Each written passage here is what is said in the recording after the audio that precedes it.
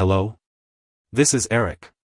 Welcome to my pronunciation guide on some of the most mispronounced names in the world. It's a name with a rich history and meaning, originating in Japan and popular in English-speaking countries. It's pronounced as Akira. Akira. Akira. To pronounce it correctly, emphasize the first syllable, ah, followed by a soft, ki and ending with a quick ra. Like, hello Akira. Goodbye Akira.